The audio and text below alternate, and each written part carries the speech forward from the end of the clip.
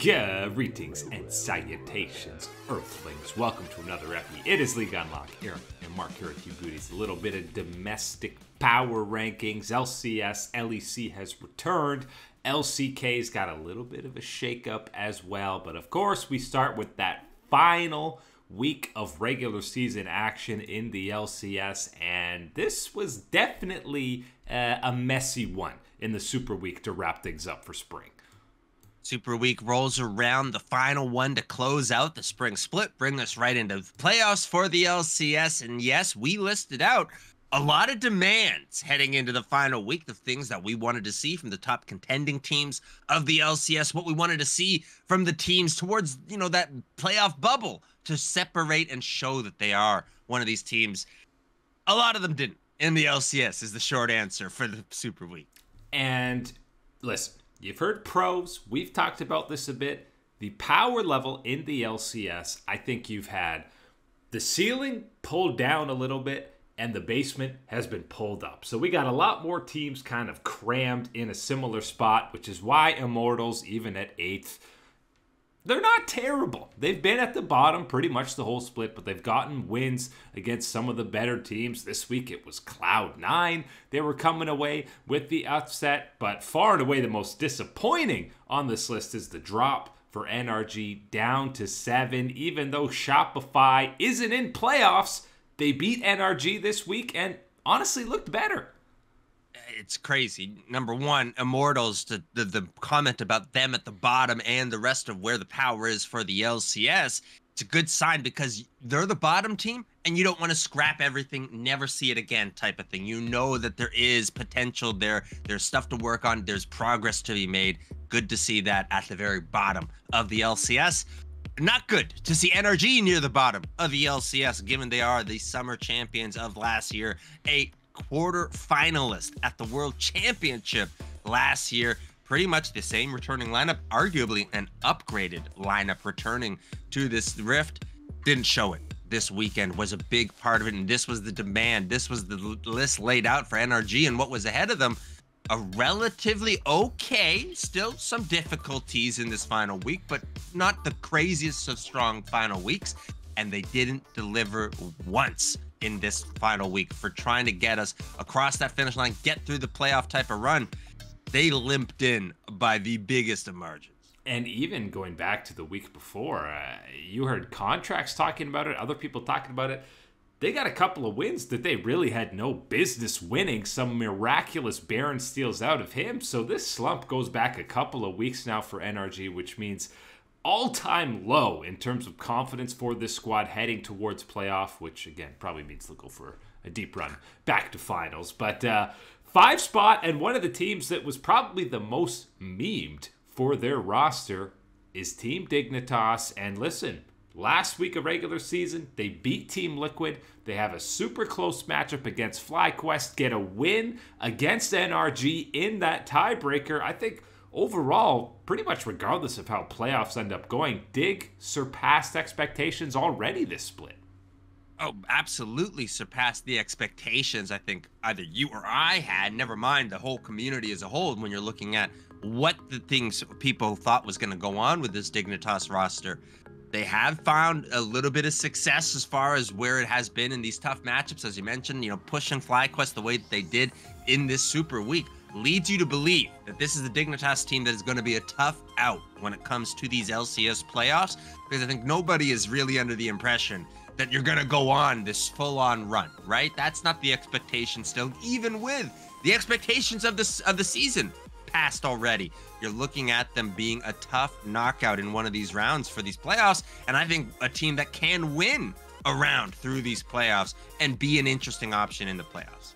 Absolutely, especially if teams are not showing them the respect that they deserve, especially those solo laners. And uh, Tomo has been popping off for them in that bot lane. Team Liquid in the four spot, very difficult team to rank. I feel like for playoffs, they're either APA and Yeon kind of shore things up, stop feeding a little bit, and this team is going deep, maybe all the way to finals, or they don't sort things out and they're not winning a game in playoffs. Yeah, and, and one of the important things to look at with Team Liquid is they are one of our longer uh, game times in the LCS when you're looking at for where they're able to close things so out. many Ziggs games. That's why.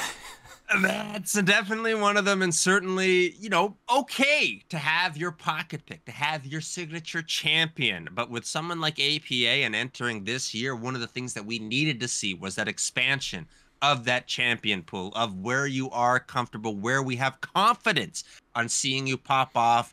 I don't think we have quite seen that in the champion pool. And that's one of those things that I think the attention is going to be put right back on in that spotlight as we move towards best of series. When you're focusing in on that pick and ban, it's not necessarily, you know, what we've rolled through in the spring split of the live patch situation where you're rolling through each new weekend. It's something new, something fresh, and you're rolling it in. Maybe you got something prepared. Teams are going to have a lot more in the tank ready for these playoffs and knowledge and everything else. You got to be prepared for it.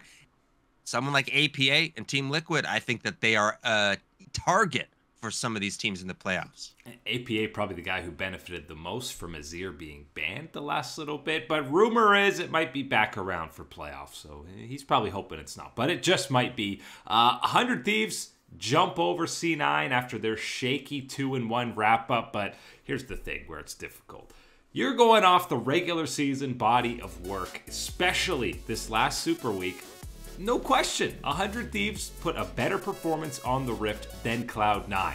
You preview a best of five between the two, and I think pretty much everybody is still favoring Cloud9 just because of the names and the potential for this squad it's something to be said about what has been accomplished by this 100 Thieves team, and specifically, again, the list demands we uh, we put out to teams in this final Super Week on what they could do to provide you that boost in confidence towards playoffs. Cloud9, not checking those. Those are X's in those boxes, not check marks for sure. And 100 Thieves, they're the ones picking up those checks, looking great in the LCS but you head towards playoffs, you head towards a best of series against these teams, and you stack them up, and it is almost impossible to get yourself on board with 100 Thieves in this situation, given that you have seen good things from them, but best of ones, best of one, best of one. Now we're moving into a situation where things are going to be a little bit more complex. You're going to have a little bit more room to express and have opportunities as Cloud9. And I think that eventually is going to be too much for the 100 Thieves to handle two rookies heading into their first playoff, obviously against the experienced Cloud9 roster. But listen, Sniper might have some spicy picks when a best of five rolls around, and matching up against Fudge, that's a big avenue where 100 Thieves can definitely take advantage of in this series. It's possible, and I think, as you mentioned earlier, if Azir is in the in the rotation, someone like Quid is very much one of those players that we've gotten the LCS that likes to use that champion. I know, I know Jojopyun's plenty capable on the Azir as well. But if you give that one into the champion pool for Quid, I think that's boosting up the chances of the 100 Thieves upset. Both of those squads are still fighting for that top spot because it is FlyQuest who holds on. They secure the first seed, still looking like the best, most consistent squad, despite the bot lane being, I'm not going to say shaky, but not up to the level of the rest of the squad over the last little bit. We've still seen they have a solid grasp of the meta. Inspired and Bwipo have fit in seamlessly, returning to the pro scene. They've still been 14 games across body of work. Most consistent squad was FlyQuest. FlyQuest coming on through, and probably out of the list of demands that we made to teams for this Super Week, one of the ones that maybe gets the 50% or 45% or close to a passing grade situation, and that's why they find themselves holding through that top spot in the LCS as you laid out. Bwipo inspired. Throw Jensen in that mix. Those veterans have been very stable, very good options for this team this split. You look at the bottom lane and you know that the power and potential is there for them. It hasn't quite come through in the same type of way that you're looking at the successes of the other parts of this team. And that's where you look in playoffs and you're wondering about whether you get the FlyQuest that's going to have that full power level to represent as the number one team in the LCS right now. I'm hoping for it, and I know FlyQuest is hoping for it, and certainly the producers of the drive segment on the LCS are hoping for it. Otherwise, it's another curse down the line for Mr. Massu. And you can't. Then they got to stop making these videos. No eyes on, no drive videos, just no behind the scenes content for any of the LCS squads. Week one LEC now in the books for us, and unfortunately, some familiar looking teams towards the bottom of the week one power rankings, except for in that little eight spot team BDS, who had that marquee head to head matchup against Rogue, which might have been the ugliest game uh, of the weekend because Rogue has a good early game. They win a fight, they get an advantage, and proceed to do absolutely nothing with it. And this is the only win BDS picked up in week one. I think everybody can be in agreement for this bottom three of the LEC without question to me. I mean, maybe maybe you've got them in somewhat of a different order, but it's got to be these three teams. I have a lot of confidence in saying that from what we have seen this past week. For Rogue, it's a tough situation because I think heading into this one, you know, someone like myself that was in favor for the changes, what Rogue was going to be making this split, hope to see a little bit more out of it. And I think that maybe it's going to be something where we got to let the runtime be there. But as much as I always like to say after the first week, give it give it some time or whatever you view. We know that always comes back to bite you in the LEC, especially running through these quick weeks that we have for these short splits before you get to that knockout part. You don't have time to get time in the LEC, and for someone like Rogue, you're gonna have to figure it out really quick. Yeah, I mean, 0 3 is really shooting yourself in the foot to start. Case in point, the number seven squad from last year. K Corp, I don't think they even got to seven at any point last year in winter. So already climbing with a one and two start, which doesn't sound great. But you have the caveat that they did play Fnatic and G2 already in week one. So getting the difficult schedule. And hey, they had a 3K gold lead and a really solid early game against G2. But like Rogue, they didn't really know what to do with it. I don't think this is going to fully meet the expectations or, or, or, you know, quota that needs to be met for the blue wall to be happy or to keep raising up the fan levels in the LEC. But this is good enough uh, to when you're looking in comparison to how they started out that spring split and where you can go from here as you laid out. Fnatic G2, cross those ones off. You're going to have some better matchups ahead of you in these next couple of weeks, and you've already given yourself a better launching point than you had at any point during the spring split. So this has to still be looked at as a, as a win for K Corp. And there's you know improvement across the board. Saken looked pretty decent. Upset looked much more confident uh, in that bot lane and was able to actually make some plays to get ahead. So much better start again, one and two, low bar for K Corp. Uh, but then what we were getting out of the winter split, we were singing the praises of Vitality after their 2 0 start. Looking good, looking clean. And then they proceed to get absolutely dumpstered by SK Gaming in the third game of the week. It's it's the classic Monday episode curse coming on through for the LEC as they still roll through games. You can give all the praise, all the reads you got from the weekend, and then have it all busted up on the Monday. And that's how it went for this Vitality team. I still think that what we have seen from them has been more than good enough that you're going to have a better edge on them as we move into week two of this uh, spring split for the LEC. Think that we're going to be talking about this Vitality team and what they're moving and how they're moving up the rankings. Keep an eye on them. I got it on Vitality right now. And yeah, just just a bad day uh, on that SK one. It was it was a little rough, but still feel like a decent team. SK could quietly be three and zero. Oh. They kind of threw a game against Mad Lions to kick things off, so that's why they're deserving of that top three spot. Mad Lions, despite having a worse record uh, than Vitality, now is a spot ahead of them. Obviously, still feel like you're taking a little bit from what they were in winter, and they themselves threw a game against Giant X that they nine times out of ten are not going to lose. And I think on paper you get a rematch. You're feeling confident in them taking down uh, all those squads below them. Team Heretics after their first loss rally off two in a row. And my God, is there anyone more untiltable? Than Mr. Wonder in the top lane. He's getting camped by one, two, three, four members. Doesn't matter if he's top lane, bot lane. He's 0 3 ends up having a huge impact in team fights. I don't understand it. I'm, I don't get how this is working out, but I love to see Wonder playing like that in the LEC and getting that success for Team Heretics, a team that I think, uh, you know, when you're looking through at these other things that we've talked about with them, with the former G2 players, having Wonder pop off like that is a wonderful sign for this team in this early part of it and where they can get to. Because I think right now, yes, this wasn't what we saw, but if you invest resources into Wonder, if you look back in the last split, I think that's part of what went wrong for this Heretics team was trying to just go, okay, weak sided up. My man, that's that, you know, that's where you were on G2 because of all these times you had resources going other places. Part of that success on G2 was Wonder playing a strong side. If you go back, and I know this is one wasn't the most successful era of G2, he certainly wasn't playing weak side when Rekkles was on the team and stuff was going on. So this is a player more than capable of it. And I think for this team Heretics, it could be that avenue to provide more firepower right now and more trust in a veteran player. Despite getting that head-to-head win, Heretics against Fnatic still got Fnatic ahead of them.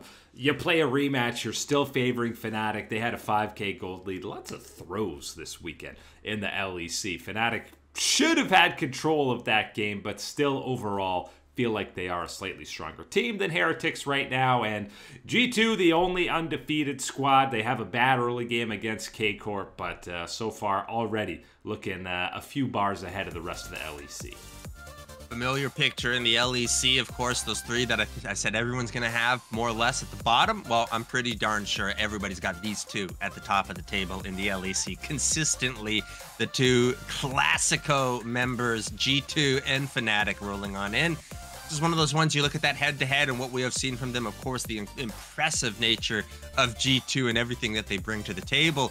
Fnatic has been very good in this opening week, and I think one of the big signs for me has been Razork in the jungle. I think that this is a continued story that's been going on, talking about how he's playing, how Humanoid is playing, and I think the big story right now is rolling through with Razork's performance and where he can lead for this Fnatic team. I think that's where you got to be putting your eggs in the basket for them because right now, looking at them with G2, yes, I love Yike, and Yike's got some interesting things in his champion pool, but right now, the power that Razork is bringing to the jungle. That aggression, I think that is an edge that Fnatic has when you're looking at it against G2. And unfortunately for Fnatic, there's just not many edges you got against G2, so you got to push the ones you've got. LCK side of things, it continues to be an absolute free fall for the Kwang Dong Freaks. Right after everyone's hyping them up in the last three weeks, their only win is a game three victory against Nongshim Red Force. That includes back to back losses to the Bros and a 2 0 drubbing at the hands of DRX, which means both of those squads are jumping over them. And it's really unfortunate because there's no real fun way or positive way to slice it up what's been going on for KDF. It has been a lot of very poor performance, a lot of poor decision making coming across on the Rift. So it's not just about whatever strength of schedule that you've rolled into at this point you had to be a part of the strong enough group that is a cut line for the playoffs in the LCK, proving that they are certainly not that cut line for the playoffs. I want to give a, a, in this bottom section of the LCK shout out to Nongshim because they have a team that is that bottom level and quite deservingly so. But still, they have in the past couple of weeks taken a lot of teams to these three games, the full max in the series, and that's saying a heck of a lot more than what we've been seeing from KDF. And heck, man, even throw FearX into that one, even though they've survived the the hell gauntlet of the LCK schedule. A nine game series losing streak uh, for FearX as they go down to that number nine spot. But yeah, if you're breaking this into tiers, as we kind of tend to do in the LCK, you get to that top five and you have that trio of solid locked in playoff squads when you have D plus Hanwha and KT. And I think all of them are at pretty comparable levels. It was kind of business as usual for most of them this week. Hanwha gets smashed by Gen G, follows it up by beating uh, anyone else in the LCK not named T1 or Gen G. Oh man, in this quick top five segment, I got to give him a, a, shout out. I know we're going to be talking about Hanwha Life, BDD, and KT. I got to give him the shout out because I have been Bounce hard. Back. I've been I've been ragging on my boy. I have been asking for him to step up for the team, and he absolutely did. This past, past week, some mega Orianna performances and clutch uh, ultimates coming on through. Got to give him his roses on that one. But yes, above them is Hanwha Life right now and where they represent in the LCK. And again, one of these territories within this top five that we have uh, in the region where you're looking at them and saying, yes, you're giving you the advantage over a squad like KT, even with KT maybe evening it out, finding that bottom of this, you know, runaway roller coaster run. Hanwha Life is right above them in that next tier up, but not necessarily enough confidence in them ahead when you're looking through at the squads like a T1, like a Gen G, even like a D plus Kia. And, you know, now the tier gets separated, has been separated between the top two. But man, Gen G really sent a message to the rest of the LCK this weekend. And now, you know, 14 series into the split, they might be looking to set another game score record that they were setting just last year. They've only got four game losses all year it's just bonkers to have record breaking after record breaking and a potentially another record breaking type of team in the LCK and to have Gen G at the center of it pretty much two, three times now that's something to be said about the power that they bring to the LCK. And they absolutely sent a devastating message to the rest of the league this one with their win against T1. They said, You got someone like Faker? You got a superstar elite mid laner? Well, we're locking him down. And our guy Chovy, he's going to be right there. Oh, you've got an amazing bottom lane. We're taking you on 2v2. I don't care what you're cooking. We got you. And you think that you've got a monster in the top side? Welcome to Kiin, and he's got a little assistant from your boy Canyon coming on through Gen G. Fantastic stuff from them. Big time flexing on the rest of the LCK and even T1. And obviously, not actually sweating are a 12 and 2 T1 that have six total losses. Yes, they got smashed, but they're still one of the best teams in the world, so not actually any type of sweat or panic out of them they're going to need to pick themselves off of the floor. That's the way it is. And they got to dust themselves off after getting this knockdown by Gen G type of situation. It's one that stings a lot more than the one to open the season. Even if you had all the hopes for that one type of situation, you can brush it off in so many other type of ways. This one stings and leaves that mark a little bit more, getting that, uh, you know, unequivocal 2 0 smackdown from your rival. I think T1's going to pick themselves up and, and get back at it still leaps and bounds ahead of the rest of the LCK are both Gen G and T1. But that is it today for League on Lock. Eric and Mark here with you, beauties. Thanks for hanging out as always, and we'll catch you on that flippity flip.